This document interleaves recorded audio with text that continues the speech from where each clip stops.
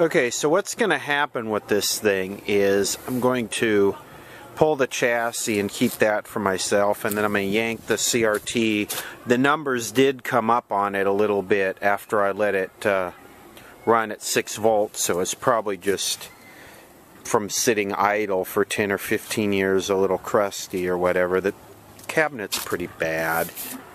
What I'm going to do is I'm going to yank the CRT. My friend Robert needs it for a Zenith combo he has. It's got a dead one. I'm going to pull the front off of it, uh, decataract it, probably pull the speakers, and this uh, cabinet probably go to firewood. Probably just bust it up. and It's too bad they ruined it. You know, the convergence assembly's gone. The, there's some controls up here all these controls are gone. The uh, what was in here, I guess the VHF, UHF antenna input, that's gone. I got the chassis out. And this is kind of interesting. I don't know what this little one tube circuit board is here. That it's pretty uh, kind of different. So of course is your video and color demodulation uh, sweep, vertical, horizontal oscillator, your video, your IF, but I don't know what that tube is. It's kind of different. So first step is get some something down so you don't damage the cabinet. Not that I'm not going to damage the cabinet, but and then just you know face forward. Oh boy, dust cloud. Uh, face forward down on the front and now we're going to pull the CRT out. I guess I should title this video how to decataract an RCA style CRT. So let me get my screw gun and we're just going to yank this out. Probably throw everything away that's attached to it. So you know, first start pulling all this stuff off. Uh, let's see, I see I found a model number here.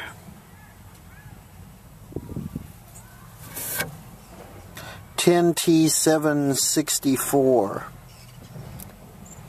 This was a fairly high-end set. It's really too bad that it kind of got tweakified like this because this I could have fixed this and this would have been a a keeper even though it is kind of a crappy particle board cabinet. Still make a nice infant care system. So we got a Dunbar tube in here with a date of 72. But the original one sure didn't last very long. Uh, which was a rebuilder here in Los Angeles, 5600 West Washington 90016.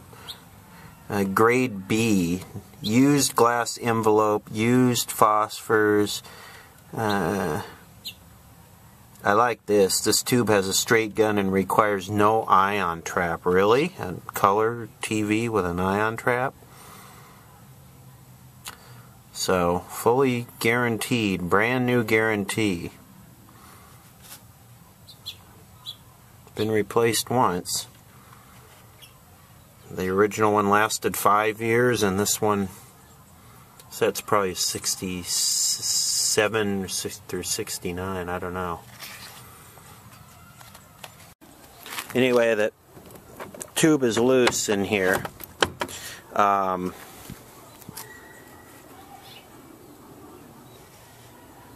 gonna flip it over and put it in the trash can. This is kind of heavy work, you know. If you can't carry a 90 pound bag of concrete up a flight of stairs, I wouldn't recommend doing this, or at least get some help. But don't do it by yourself if you can't lift a decent amount of weight and manipulate it without struggling because if you drop this uh, it could hurt you. Okay, here it is upside down in a wastebasket. I put a cinder block in this can to keep it from tipping over. The first thing I'm going to do is I'm going to remove the tape around the edge. Now it looks like I'm going to remove this one with heat. This is the RCA style. You can tell by the cracks and it's not the green halo. So I'm going to use a uh, heat lamp in the sun to get this off. You can see this stuff is. So what I'm going to try and do is just kind of slowly bake this off. I hope the sun stays out today. Um, I've removed them with water before. It's definitely a lot safer, but I'm kind of in a hurry to just knock this thing out, get it out of here.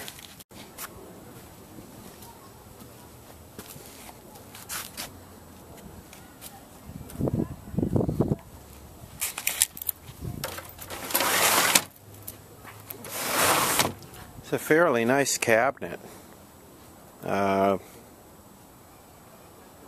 hope someone can use it. Let me uh, roll it out on the curb. Don't have any more room for any more of these.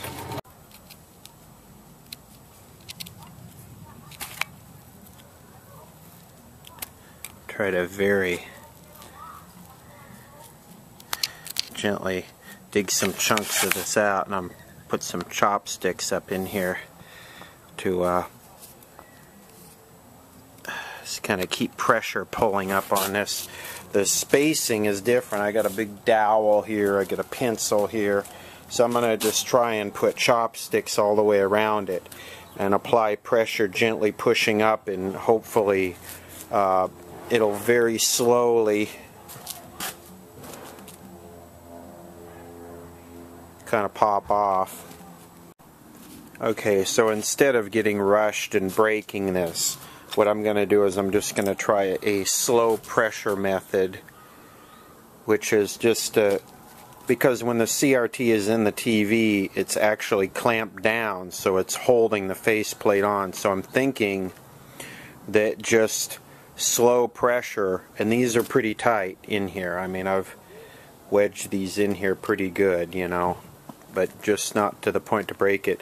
And I've marked it. I've marked the um, points at where it's starting to divorce. So what I'm going to do is I'm just going to let this sit for a couple hours and see if it's moved instead of rush it and break it because I'm good at that. there.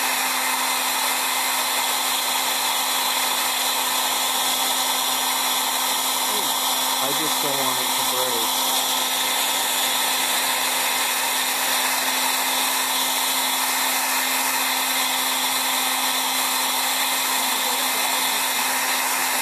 but the hair dryer is not really hot enough.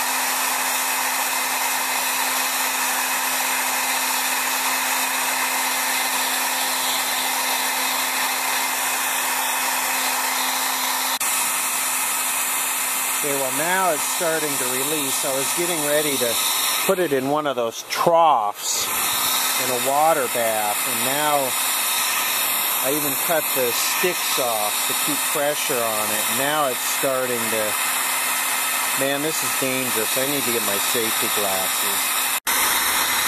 Okay, I'm getting close here. I'm working the bubble towards the middle, and it's, uh, I think water is definitely a better way to do this. Because this sure is a waste of energy. Okay, just uh, made a creepy popping sound and then came off. Uh, where can I put this and not break it. Boy, that's nasty.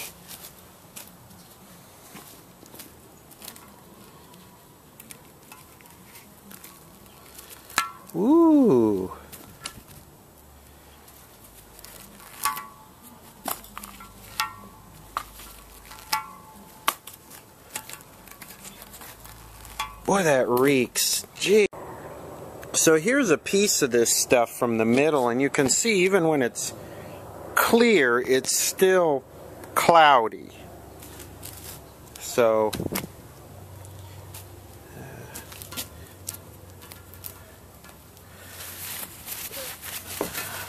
now the next thing is to clean this up real good. This has got to be spotless. Okay, well I talked to the guy that I'm giving this to and he doesn't really want the safety glass back on it. You know, some people don't put it back on. Um, so long as you don't throw a football at the screen or kick it, it's probably not going to break. Uh, newer CRTs had a metal band wrapped around them to prevent implosion and the thought was that the outside had to expand out for the for the screen to cave in. I I started cleaning the old lens up and I'll just keep this. I do like the the uh, safety glass look myself, but it is a smoked piece of glass and it does blur out the uh, and dim the screen a little bit. So uh, this is pretty much a wrap. I'm gonna put all this stuff away and take him to CRT and I'll just keep that for one when I break one or something.